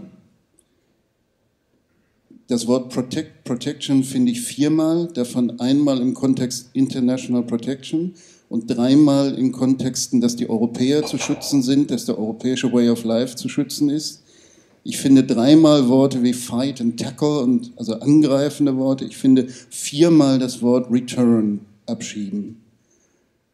Ich sehe eine abwehrende, eine teils aggressive, eine jedenfalls nicht den Schutz der Betroffenen betonende Sprache in diesem Mission Letter. Und ich frage mich, welche Lösungen sucht man im Geist einer solchen Sprache? Und was wir bisher kennen, Günter Burkhardt hat schon angesprochen, sind Vorschläge für Abfanglager an den Außengrenzen, für Inhaftierung, für Schnellverfahren, für alles, was in Griechenland seit Jahren nicht funktioniert, trotz aller Bekundungen der EU, man wolle das nach allen Kräften unterstützen, nicht funktioniert. Ich frage mich, was wird denn da jetzt rauskommen bei diesen Verhandlungen? Und zu Frau Rüth, Sie haben das Stichwort zahnloser Tiger selbst erwähnt. Wenn man sich die Javo und die Ibrahim-Entscheidung anguckt, dann ist das ja ein merkwürdiges Missverhältnis zwischen der abstrakten Schwelle, die da formuliert wird, die unglaublich hochgelegt wird, eine existenzielle Notlage, aus der man sich nicht selber befreien kann. Wenn dann die konkreten Beispiele kommen, dann ist es einigermaßen überraschend, dass man liest, Obdachlosigkeit, nicht in der Lage, sich zu ernähren, nicht in der Lage, sich zu waschen, wo man denkt, ja, das ist alltäglich, das kommt ständig vor in bestimmten Mitgliedstaaten. Ich will ein Beispiel auch gerne sagen. Wir haben im Dezember, also nach diesen Urteilen, ein Eilverfahren geführt in Hamburg über einen epilepsiekranken Tunesier mit Abschiebung unter Dublin nach Italien. Wir haben im Eilverfahren genau geltend gemacht, dass der besondere Schutzbedürfnisse hat. Der Eilantrag ist abgelehnt worden. Zwei Tage später meldet der Klient sich aus Italien und schickt Fotos von der Straßenunterführung, in der er jetzt an einer Säule schläft und berichtet, dass er keine Geldmittel hat. Und wir haben dann tagelang versucht, von Deutschland aus zu organisieren, dass er wenigstens seine Medikamente bekommt. Auch das ist nicht gelungen. Also die Realität ist, dass die Leute genau in diese Löcher fallen. Die Realität in Gerichtsverfahren ist, dass aus diesen Maßstäben nun noch höhere Schranken geschraubt werden, um ihnen eben keinen rechtlichen Schutz zusprechen zu müssen. Man hat begierig in der deutschen Verwaltungsrechtsprechung, da wo wir es beobachten können, die Stichworte extreme materielle Notlage und Sozialhilfeverweigerung reicht nicht aufgegriffen. Das ist das, was im Moment aus diesem Urteil gemacht wird. Und eine konkrete Frage, Sie haben das Urteil Hamed und Omar angesprochen. Und da ist für mich noch die Frage, was folgt denn nun daraus? Dass die Nichtzurückweisung als unzulässig bei einem Schutzberechtigten verboten wird. Der EuGH geht in dem Urteil am Ende ausdrücklich davon aus, dass man wohl ein neues Asylverfahren führen müsste, um den Schutz im neuen Mitgliedstaat zu ermöglichen. Ich lese das unausgesprochen so, dass ein solches Verfahren wohl auch geführt werden soll. Die Frage ist aber nach der deutschen Prozessrechtsordnung als volles Asylverfahren als Folgeverfahren mit der Folge, dass er seine Fluchtgründe ja gar nicht mehr anmelden kann. Unter Umständen auch mit der Möglichkeit einer vollständigen Ablehnung und Abschiebungsandrohung in den Herkunftsstaat. Also das ist, meine ich, noch nicht zu Ende gedacht. Da würde mich einfach interessieren, wie Sie das sehen.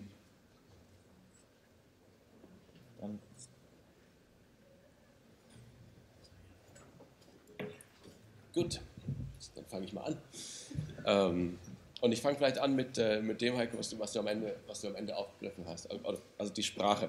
Ich denke, das mit der Sprache ähm, ist eine Sache, die in der Tat auch das Parlament aufgegriffen hat. Äh, und das war ja gerade also der, der, der Name, der Titel, der, der, das politische Headline Objective, das Frau von der Leyen unter unseren quasi Punkt äh, Inneres und äh, Migration und Asyl gesetzt hat, war ja äh, Protecting the European Way of Life.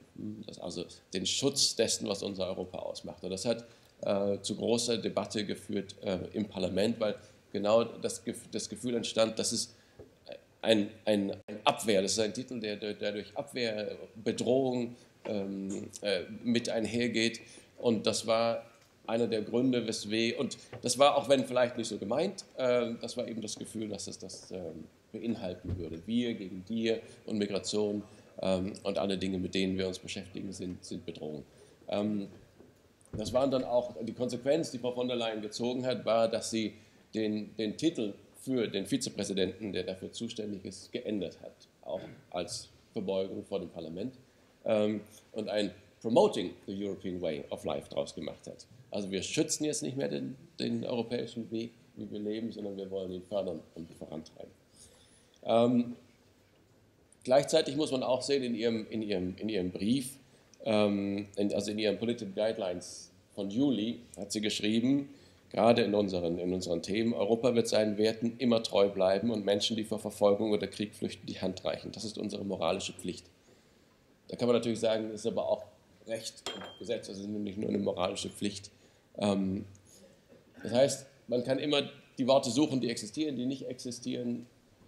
Zu der Zeit, zu dem die Mission Letters geschrieben worden sind, war das, das Personal ähm, schon da, aber das sind ja Entwicklungen, die weitergehen. Und gerade das, was ich gesagt hatte, dass es unserer neuen Kommissarin gerade um diesen Aspekt auf der Sprache geht, ähm, ist gibt uns noch ein bisschen Zeit. Also vielleicht werden so, so Worte wie Migration Flows und dieses, die, die unmenschlichen, die Wellen von Bewegung, äh, sind vielleicht Dinge, die, die langsam rausfallen werden aus dem Sprachgebrauch.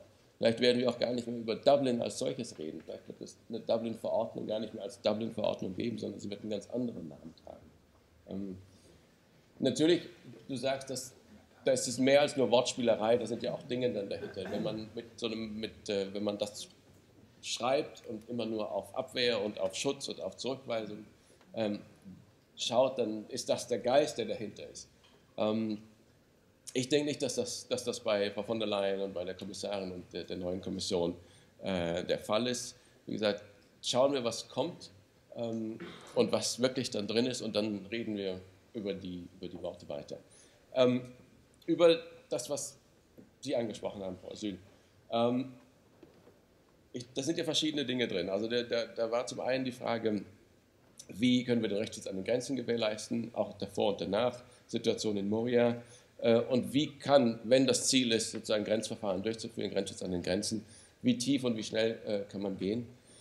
Das werden genau die Fragen sein, die, die wir behandeln werden müssen und die man auch schauen wird. Ich meine, in, für, für das neue Verfahren, wenn, wenn es dazu käme, dass eben das systematische Grenzschutzverfahren an an den Außengrenzen durchgeführt werden. EU-Türkei-Abkommen und die Situation in Griechenland wissen wir hier, wie die Lage ist. Alle. Wir sehen, dass es ein Riesenproblem ist. Wir sehen aber auch, dass im Grunde aus der rückgeführt unter, dem EU-Türkei, unter der EU-Türkei-Erklärung gegen den Willen des Betroffenen nach in die Türkei wurde eigentlich noch niemand in den letzten drei Jahren.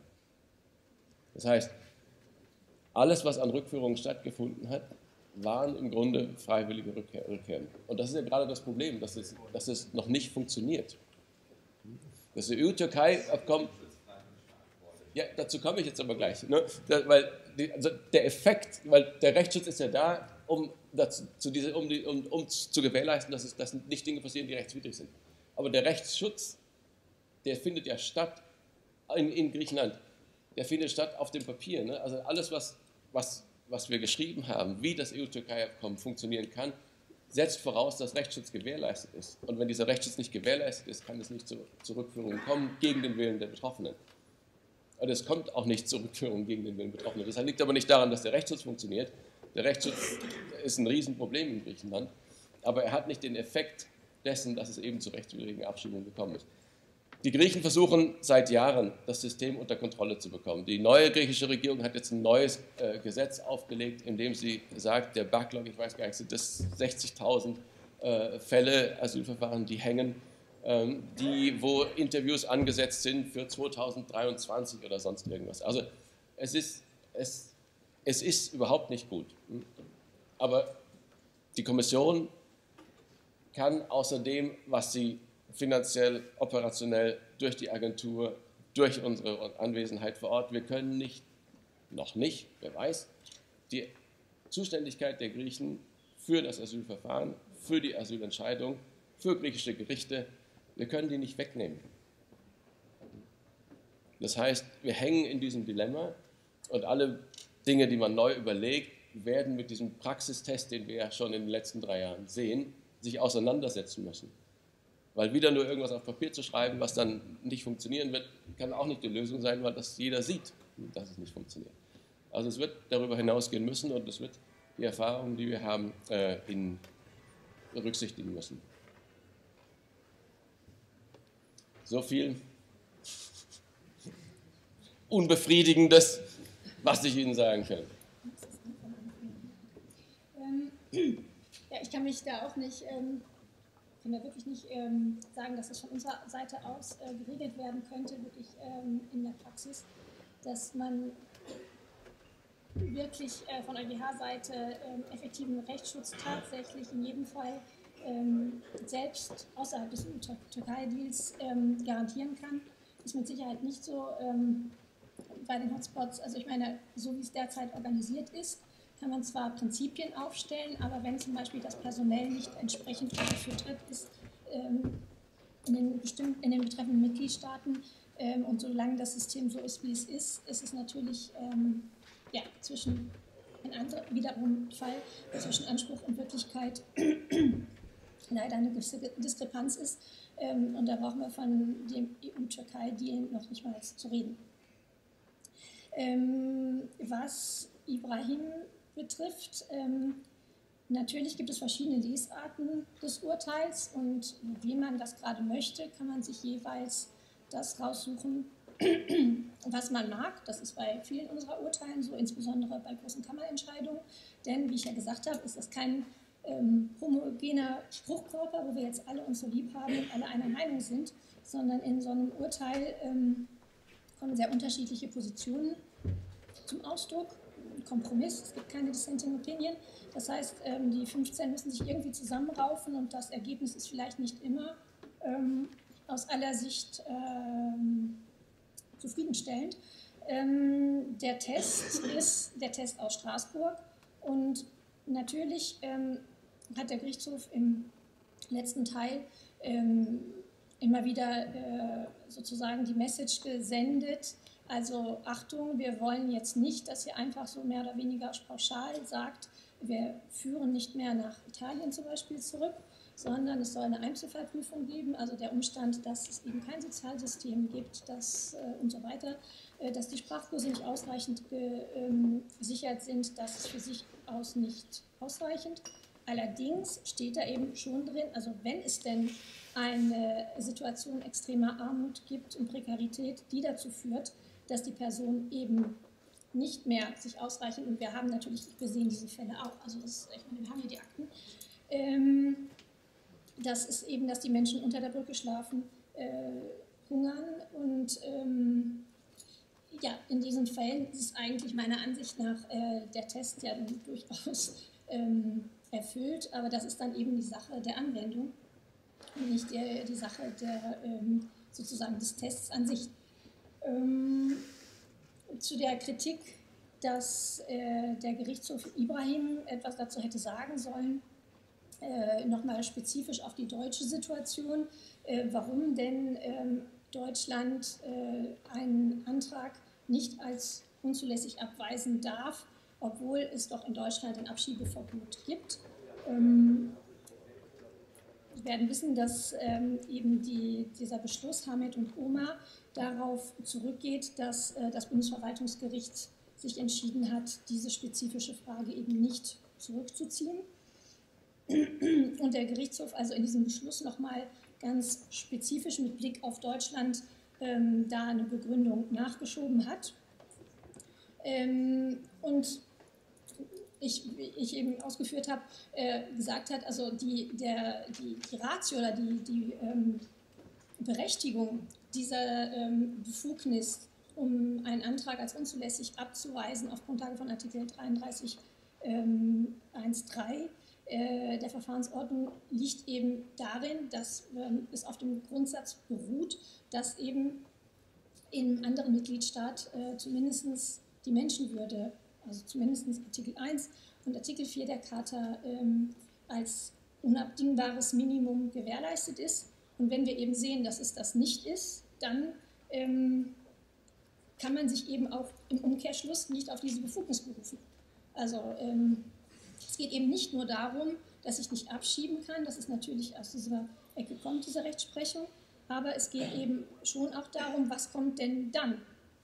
Und ähm, äh, je nachdem, wie lange nicht wieder zurück, also abgeschoben werden kann in den betreffenden Mitgliedstaat, äh, ist das für die äh, Person ja dann durchaus, ähm, selbst wenn sie einen, einen humanitären Aufenthaltstitel hat, ähm, nicht das Gleiche, als wenn sie eben in Deutschland den Flüchtlingsstatus bekommen kann. Und de facto wird dieser Person ansonsten in der Zeit, bis sie denn wieder nach Bulgarien zurückkehren kann, wenn sie das irgendwann mal tun kann, wird, in, wird ihr in rechtswidriger Weise der Flüchtlingsstatus vorenthalten. Und das kann natürlich der EuGH ähm, nicht einfach so ähm, mittragen. Ähm, dass das natürlich aus rein deutscher Sicht ähm, anders gesehen wird, kann ich nachvollziehen, aber ähm, wir entscheiden ja auch die Sachen nicht nur eben mit Blick auf Deutschland. Ähm, was auch wiederum die Verfahrensautonomie betrifft, also es gibt ja nur mehrere Entscheidungen, in denen der Gerichtshof immer wieder die Verfahrensautonomie insbesondere bei der Umsetzung ähm, unterstrichen hat. Und das Urteil, ähm, auf das ich mich eben bezogen habe, ähm, sagt in keiner Weise, dass jetzt äh, sozusagen der EuGH in allen Mitgliedstaaten äh, vorgibt, dass durchentschieden werden muss. Ganz explizit sagt er das nicht. Er sagt nur, also er sagt, ihr dürft es erstmal selber regeln, aber dann, wenn der Wesensgehalt von Artikel 47 betroffen ist, und das sieht er, äh, betroffen, den sieht er betroffen, wenn eben jahrelang, ähm, obwohl nachgewiesenerweise ähm, eine Person ähm, die Voraussetzungen erfüllt, um den Flüchtlingsstatus zu erhalten, ihr der von äh, sozusagen auf, äh, ja, aufgrund der, einer grundsätzlichen politischen Entscheidung in dem betreffenden Mitgliedstaat vorenthalten wird. Und dass der Gerichtshof sagt, in einer solchen Situation muss dann irgendwann, äh, damit ein effektiver Rechtsschutz gesichert ist, äh, gegebenenfalls das Gericht, wenn es nicht anders geht, sich eben auch über die äh, verfahrensrechtlichen nationalen Bestimmungen hinwegsetzen dürfen, um eben der einzelnen Person ähm, zu ihrem Recht zu verhelfen. Das heißt aber, zumindest so wie ich es verstehe, in keiner Weise, dass äh, wir damit die Verfahrensautonomie grundsätzlich gekippt haben, sondern es ist eben äh, nur sozusagen ein Korrektiv in den Fällen, wo was ganz ähm, deutlich schief läuft. Ähm, dann ähm, zu dem Missverhältnis. Natürlich gibt es und auch in dem Urteil Ibrahim und Javo gibt es ein gewisses Missverhältnis, selbst auch in der Sprache. Wir haben schon über Sprache gesprochen und deren Wichtigkeit. Aber im Endeffekt ist es halt eben die Frage, und das wird die Zeit zeigen, was die nationalen ähm, Gerichte aus den Entscheidungen machen. Ich denke, dass sie durchaus so vernünftig angewendet werden können, dass sie eben das, was damit ähm, bezweckt ist, nämlich ein Korrektiv zu sein für Fälle, in denen eben ähm, Verelendung droht, in dem äh, Zielstaat zu verhindern. Wie ich schon gesagt habe, eine Lösung ist es wirklich, ist es so eine wirkliche Lösung, ist es allerdings nicht.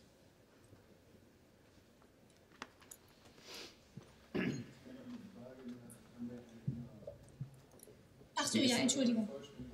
Genau. Ähm, ja, das, ähm, ähm, Hamid und Umar haben wir unterstrichen, also dass äh, Deutschland darf nicht ähm, als unzulässig zurückweisen. Das heißt also, es muss grundsätzlich erstmal das Verfahren, also das heißt den ähm, negativ beschiedenen äh, Antrag, äh, also das Verfahren, das zu dem negativ beschiedenen Antrag äh, geführt hat, äh, weiterführen. Ähm, mehr, trifft, mehr steht dazu in dem Beschluss nicht drin.